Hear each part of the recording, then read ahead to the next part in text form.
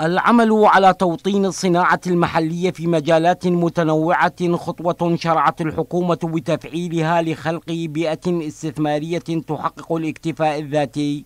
في ظل توجهات عمل عليها صندوق العراق للتنمية الذي أبرم العديد من مذكرات التفاهم للاستثمار في قطاعات الزراعة والصناعة والبيئة وغيرها. الصندوق أسس هو في الحقيقة لجذب الاستثمارات الخارجية عن طريق مساهمة الحكومة مع القطاع الخاص في الاستثمارات اللي تدخل العراق.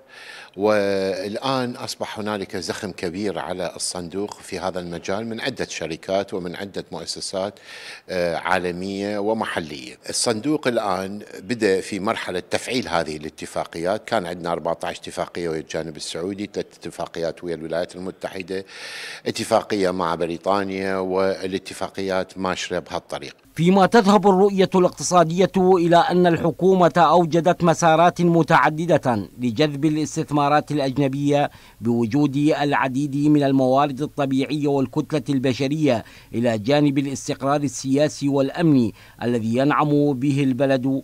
عوامل مهدت الأرضية لإتاحة الفرص الاستثمارية الكثيرة داخل العراق؟ العراق آه، يسخر آه، بموارد اقتصادية كبيرة سواء كانت على المستوى البشري أو على المستوى الاقتصادي. وبالتالي بات من الضروري آه، ومن الضرورة الحتمية جدا أن نسعى إلى توطين المشروعات الاقتصادية سواء كانت صناعية أو خدمية أو غيرها.